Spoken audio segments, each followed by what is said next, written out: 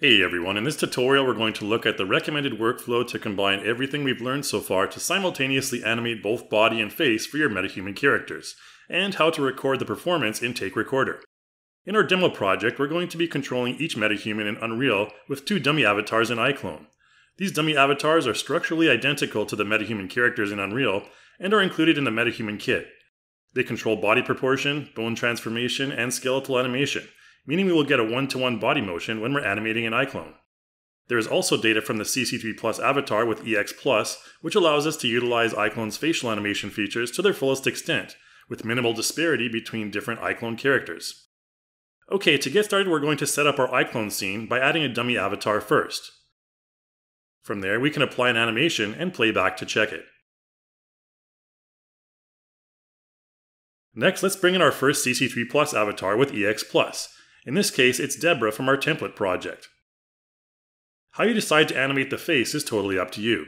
As you can see here, we have an option for keyframe editing using the Face Key Editor, which is able to utilize the new EX Plus profile to provide detailed animations for individual facial features, as well as complete expression sets that you can blend together. Aside from that, there's also the Face Puppet tool, which allows you to select a profile and then use your mouse movements to control the facial expressions in real time. Let's skip over to Unreal for now and get everything set up there for our motion recording. We have a metahuman character here that is ready to be connected via Live Link. If you recall from the face and body animation in Unreal tutorials, we used custom blueprints to enable the real-time transmission of animation from iClone, and in order to make them work together simultaneously, we've added another simple blueprint modification. As you can see, the face and body graphs are being executed separately with a sequence node here. If you didn't follow the optional step in our face tutorial, then the graph is going to look the same as what you saw in the body tutorial. You'll just need to press simulate or play every time you want to see facial animation. If everything has been set up correctly in our scene, you will see three attributes in the details panel once your metahuman character is selected.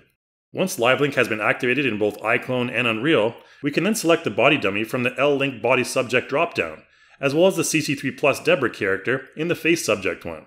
The L-Link face head checkbox is only relevant when we have a face-only setup and want to include head rotation in the performance. The checkbox will determine if our head will rotate or not.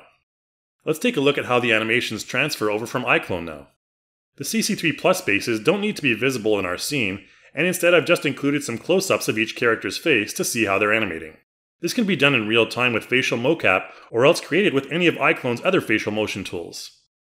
In order to render a video with the best quality in Sequencer, we need to use the take recorder in Unreal in order to capture the performance first. I'm going to open it up and use the metahuman on our screen as a source to capture first.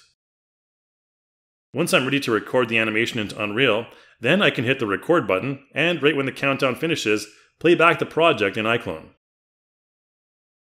What that will do is record our character animation into Unreal Sequencer.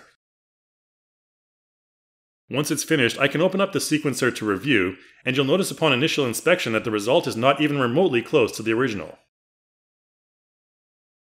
This is a known issue with MetaHuman and Take Recorder, however luckily there is a quick fix.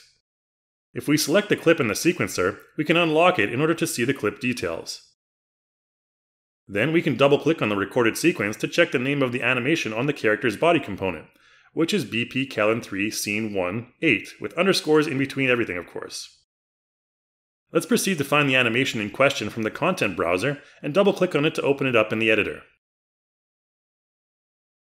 In the Asset Details tab, we need to then change the retarget source to match our body type from the drop down menu. Once that's done, we can play back again and see that it will now match up identically with the live link performance. Now it's ready to be used in your personal projects and renders later. That's about all there is to recording your animations from iClone using LiveLink and Unreal's Take Recorder. This pipeline allows for not only quick and efficient quality animation options with iClone, but also unparalleled visual results with Unreal Engine. Thanks for watching, and as always be sure to check out our YouTube channel for regular tutorial videos on our new features, as well as our forums at forum.reallusion.com. I'll see you in the next video.